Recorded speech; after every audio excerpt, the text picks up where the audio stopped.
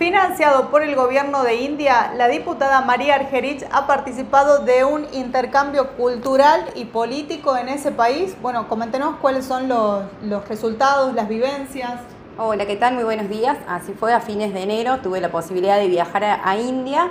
a compartir junto con eh, jóvenes eh, de mm, otros países un intercambio cultural y político, a donde lo que se buscaba en primera medida era poder conocer la India en persona, cuáles son, digamos, sus experiencias a niveles políticas y culturales, poder debatir qué se entiende por democracia, en lo que ellos denominan la democracia más grande del mundo en función de la cantidad de personas que, votan en un proceso electoral, y también estrechar eh, relaciones con el país para eh, justamente buscar inversiones de capitales indios, no solo en Argentina, sino particularmente en Catamarca. Algo que está sucediendo con la visita justamente del embajador de India en la jornada de ayer acá a la provincia. Sí, tal cual. El gobernador Raúl Jalil viene trabajando fuertemente en la atracción de capitales extranjeros a nuestra provincia para poder generar empleo privado, que es uno de los grandes bastiones que tiene nuestra gestión de gobierno,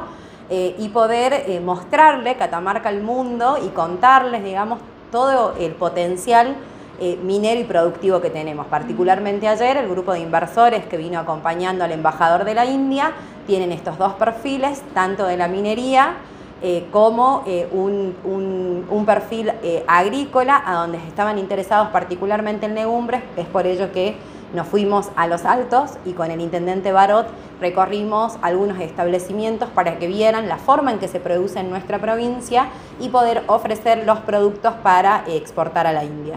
Además también hay interés en la minería, como lo mencionabas, ¿no? Sí, hay un, convenio marco firmado eh, desde el Ministerio de Ciencia y Tecnología de la Nación, eh, a través de IPF también, digamos, con el apoyo del Ministerio de Ciencia y la empresa de combustibles, digamos, estatal de la India para poder empezar a desarrollar de manera conjunta eh, inversiones y una, digamos, de, los, de, los, que le atrae es justamente el litio. Entonces se está estudiando, viajó, también un equipo de geólogos con el embajador de la India para estudiar las factibilidades del suelo y cuál podría ser la inversión que se realice en nuestra provincia. ¿Cuáles son las ventajas, María, de eh, poder tener como aliado a un país eh, o permitir inversiones de India que tiene objetivos muy claros eh, en los próximos años? Y la ventaja es saber que India se está posicionando geopolíticamente, que hoy son la quinta potencia mundial,